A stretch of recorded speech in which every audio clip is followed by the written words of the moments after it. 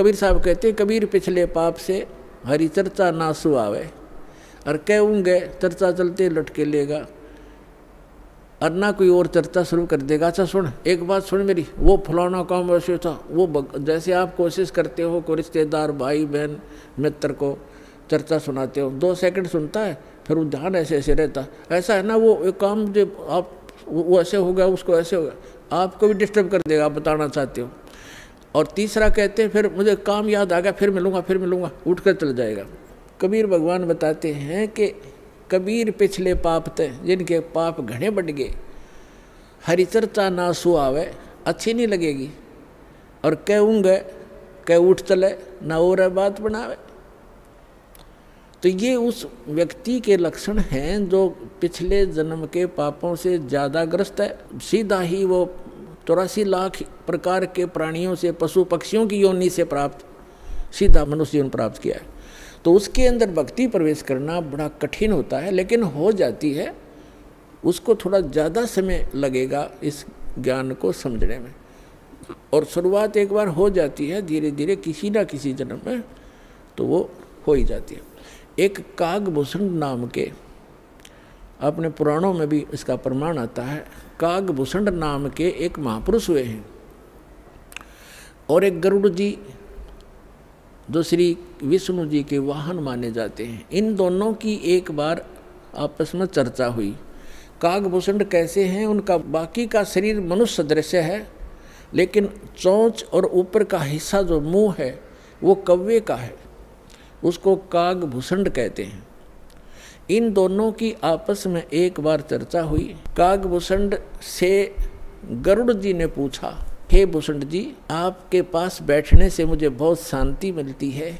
आपने यानी ये भक्ति विधि और ये अमरतव क्योंकि कागभूषण जी की काफ़ी लंबी आयु होगी है, काफ़ी प्रलय उसके सामने हो चुकी हैं, अभी भी वो विद्यमान है।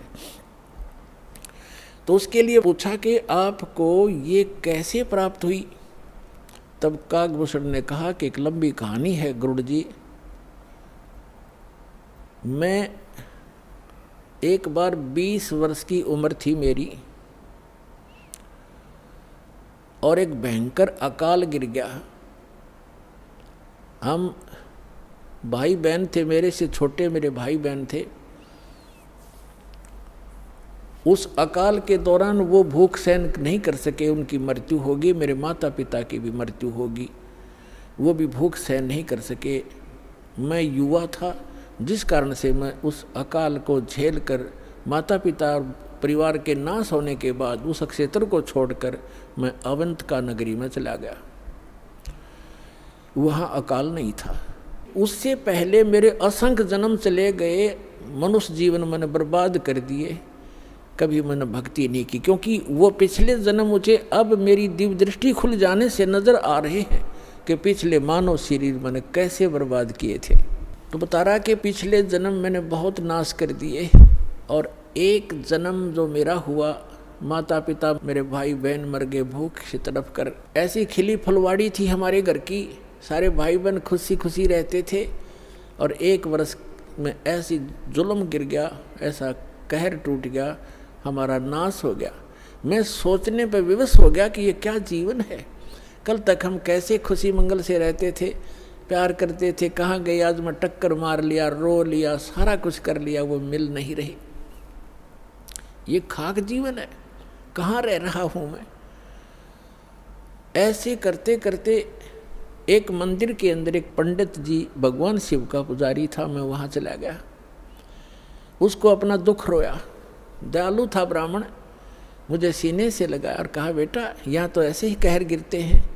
आप भक्ति कर लो, स्वर्ग में चले जाओगे, वहाँ दुख नहीं है। ब्राह्मण को ज्ञान स्वर्ग तक का ही था। और कहा, बेटा तुम दीक्षा ले। गुरु बनाए बगैर मोक्ष नहीं होता। अब कागभूषण बता रहा है कि मेरे इतने पाप थे, पापी के पिछले जन्म जन्म के कभी भक्ति शुरू नहीं करी थी। मेरे अंदर भक्ति प्रवेश करने में छह महीने लग गए, लगातार संत के साथ रहने में। अब छह महीने तक मैं मंदिर में रहा, रोज उनकी कथा सुनता, वचन सुनता, पर नाम लेने की इच्छा कभी मैंने व्यक्त नहीं की। गुरु जी कहते महात्मा जी के बेटा दीक्षा ले ले। मैं कान्ना पे कह टाल जाता, ना हाँ कहता, ना ना कहता। और दीक्षा उसी को प्रफुल्लित होती है जो सब इच्छा से अपनी लगन से प्राप्त करता। ज़बरदस्ती दिया हुआ ज्ञान नाम काम नहीं करता। तो उस पंडित जी ने इसलिए उसको ज़ोर नहीं दिया। छः महीने के बाद कहता, लगातार सत्संग सुनने के बाद मुझ पापी के कुछ पाप नरम हुए और तब मैंने दीक्षा प्राप्त की। दीक्षा प्राप्त करके कुछ दिनों के बाद फिर मेरे अंदर एक बकवाद भागी। जो गुरु जी कथा सुनाया करते हो, मुझे भी याद होगी। मैं युवा था गुरु जी वृद्ध हो गए थे। मेरी आवाज़ में कसक थी। जितने भी श्रोता थे, अब मेरी तरफ़ आकर्षित हो गए कि, और कहने लगे हो आप तो गुरु जी से भी बढ़िया ज्ञान सुनाते हो। अपने आत्माओं यहाँ मार खाता प्राणी। इस ज्ञान को सुनकर कोई वक्ता बन बैठेगा, दस उसके प्रशंसक हो जाएँगे, वो भी अपना नाश जीवन करेगा। अब ज्ञान पुराणों का था। बढ़िया घटिया क्या हो गया उसमें? गुरु जी से बढ़िया सुनाने लग गया वो। तो यहाँ मार खाते हैं, श्रोता भी और भक्त भी मार खाते हैं, मान बढ़ाई छा जाती है सबसे बड़ी दुश्मन जीव की। एक दिन मैं बैठा था, कथा कर रहा था, श्रोता बैठे थे गुरु जी आए मंदिर में अपने घर से।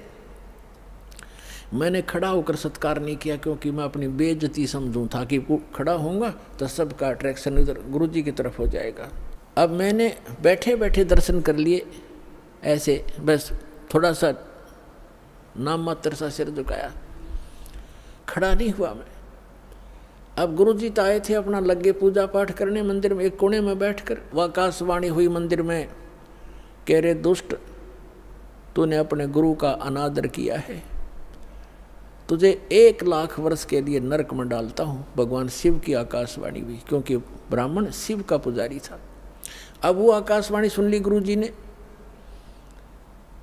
उसने कहा, अरे बेटा भूषण, उसका नाम कुछ और था उसमें। बेटा, भगवान क्यों नाराज़ हो गया तेरे से? गुरु जी ने नहीं ध्यान दिया कि इसने मेरा आदर किया या अनादर किया? संत के विषय में एक बाणी कही है गरीबदास साहिब जी ने, कि आदर अनादर करो क्यों ना कोई। मम संत शरण जगत जान छोई। अब संत ये नहीं देखते आदर नादर को, लेकिन शिष्य को हानि घनी हो जाती है, जो आदर नहीं करता, नियमित नहीं रहता। तो उस गुरु ने पूछा, बेटा, क्या गलती करती? भगवान आपसे क्यों रुष्ट हो गए? अक्षमा याचना कर, दयालु है भगवान, माफ़ कर देंगे तेरे को। और खुद भी अर्ज़ की, हे भगवान, बच्चा है आपका, गलती होगी, बालक है, अक्षमा करो।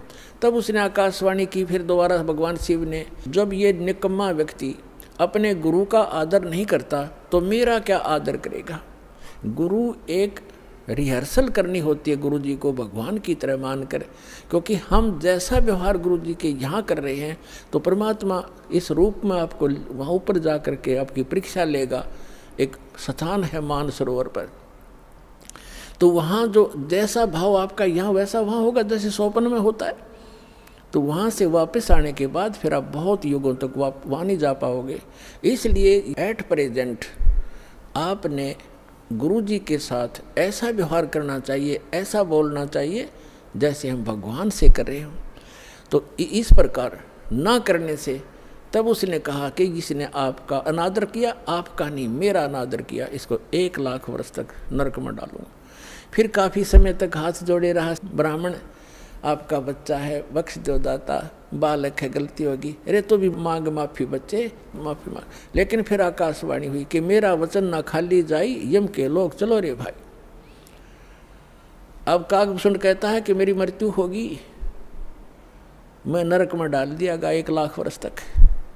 लेकिन थोड़ी बहुत जो कलम चढ़ी थी, थोड़ी बहुत भक्ति प्रारंभ की थी प्राथमिक उसका लाभ मिला अगले जन्म में मुझे मनुष्य जीवन मिला, लाख वर्ष नरक भोग गए मनुष्य जीवन मिला तो मैंने एक लोमस ऋषि के साथ वाद विवाद कर दिया। उसने मुझे श्राप दे दिया, अरे चंडाल तो तो चंडाल के घर जन्म हो तेरा, वाद विवाद करता है। तो काकभूषण कहता है कि गुरु जी, मैंने दुख नहीं माना संत के उस कुवचन का, और उसने श्राप दे दिया। मैंने हाथ जोड़ कर ये कहा कि, हे महर्षि जी दास पर गलती बन गई।